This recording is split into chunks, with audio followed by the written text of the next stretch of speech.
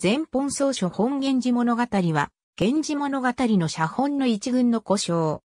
全本草書本源氏物語とは、天理大学附属天理図書館に収蔵される、源氏物語の写本のうち、天理図書館全本草書というシリーズの、源氏物語書本集に収録された写本の総称である。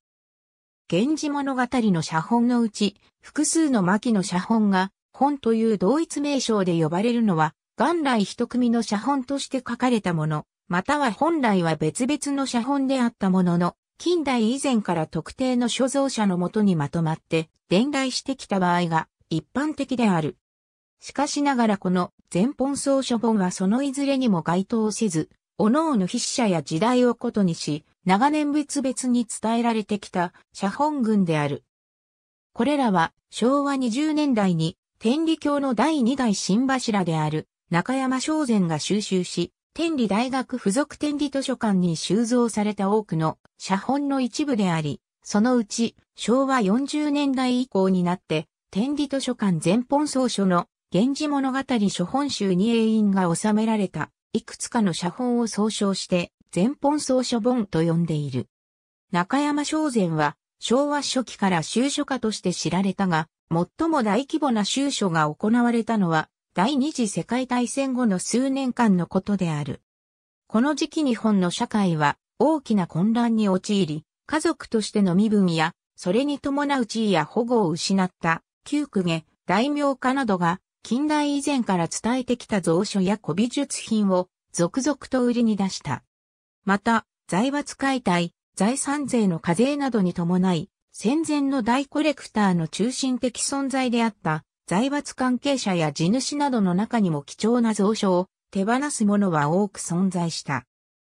こうした状況の中で最も優遇された存在の一つが戦前には国家とのつながりによる恩恵がなく、むしろ規制、弾圧されていた国家神道以外の宗教組織であり、これらに対しては当時の国家が税制名を含む様々な保護政策を取ったため、日本国内の代表的な新宗教の一つである、天理教の代表者たる中山正禅は、多くのコレクションを一括購入を含む様々な書籍や美術品を購入した。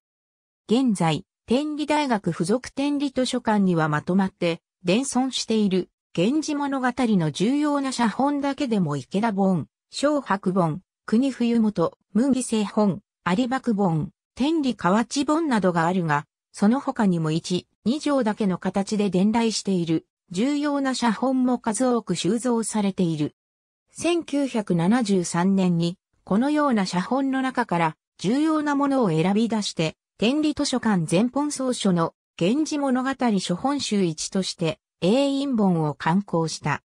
この源氏物語書本集1に収録されている写本は、元々の伝来も、伝承筆者も書写時期も、本文系統も様々であるが、これ以後一括して全本草書本と呼ばれるようになった。